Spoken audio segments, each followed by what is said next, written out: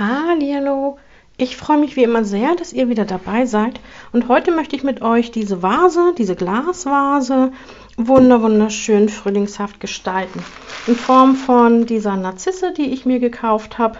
Ich habe mir ein wenig, ja ich glaube das ist so Hartriegel bereitgelegt, ein paar Zapfen, verschiedene Moossorten, ein kleines Kordelband, ein wenig Schnee und ich lege einfach mal los. Ähm, für den Untergrund möchte ich ganz gerne in dieser Vase ähm, Moos einlegen. Und tatsächlich nur am Rand, weil ich in diesem Moosbett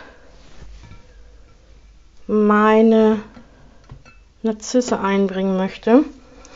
Und jetzt ist der Vasenrand auch nicht so wahnsinnig, also hier der Vasenhals nicht so wahnsinnig groß, ähm, sodass man tatsächlich jetzt schauen muss, wie man das am besten macht mit dem Moosbettchen.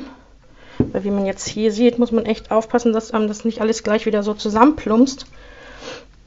Und ich hoffe einfach auch, dass ich mit dem Moos auskommen werde. Ich habe noch ein paar andere Moossorten hier. Ich glaube, die werde ich jetzt tatsächlich auch ein bisschen mit einbringen müssen. So, das ist jetzt mein Moosbett. Und in diesem Moosbett bette ich jetzt meine Narzisse. Und jetzt überlege ich glatt, ob ich sie rausnehme aus dem Topf, also sprich austopfe oder im Topf lasse. Ich glaube, ich topfe sie aus. Ich persönlich finde es viel schöner, auf eine wunderschöne Wurzel zu schauen, als auf einem Topf. So, das sieht doch wirklich schon mal richtig schön aus. Ich mag es richtig gerne leiden. Also allein das ist eigentlich schon fertig, wenn man es mal so genau nimmt. Viel mehr bräuchte man da gar nicht. Ich werde hier und da tatsächlich noch ganz, ganz wenig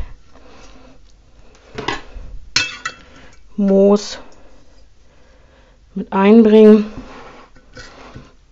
Und das war es dann auch schon zum Thema Moos. Dann lassen wir es ein ganz klein wenig schneien, so wie es draußen tatsächlich auch ist. Das Wetter ist ja doch sehr wechselhaft und wir haben Winter. Und wenn draußen schon nichts los ist mit Schnee, dann doch wenigstens drin. So.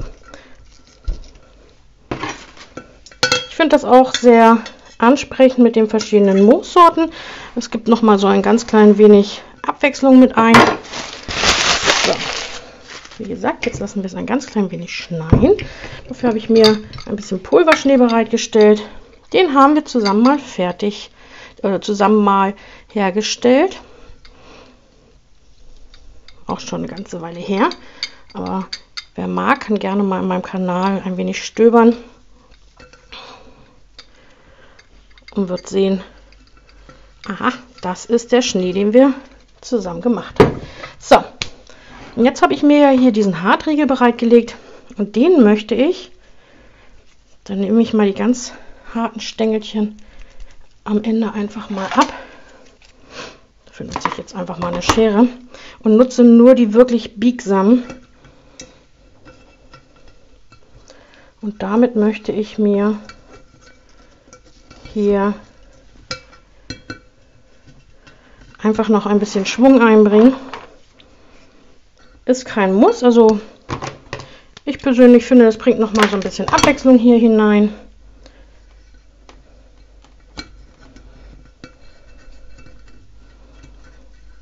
Und das mache ich mal eben im Schnelldurchlauf.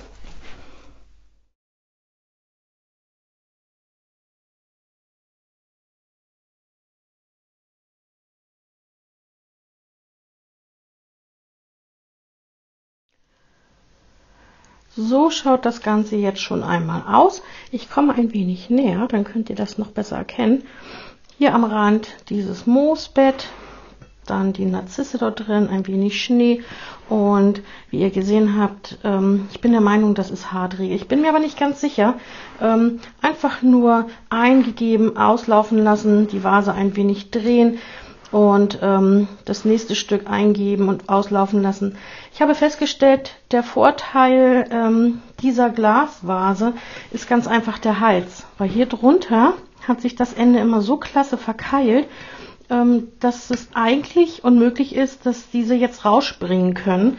Wenn man jetzt so einen Rand nicht hat, also sprich, ich hoffe, ihr könnt das richtig gut erkennen, diesen Rand, ähm, ist es so, dass es ein bisschen schwieriger sein könnte oder sich schwieriger gestalten könnte, weil die Enden vielleicht immer wieder hochschießen. Die müsst ihr dann miteinander ähm, in Verbindung bringen, halt immer wieder unter dem Vorgänger unterhaken. Ich finde es so schon persönlich sehr, sehr schön, werde jetzt aber einfach noch ein ganz paar kleine Eyecatcher mit einbringen. Einmal in Form von diesem Band. Das ist kein Muss, das ist tatsächlich ein Kann. Ich persönlich finde es sehr schön und ich mag es auch, wie es draußen in der Natur momentan tatsächlich noch ist. Man schaut raus, man sieht hier einen Zapfen, man sieht dort einen Zapfen und ähm, von daher möchte ich tatsächlich hier und da noch ein wenig solcher Zapfen mit einbringen.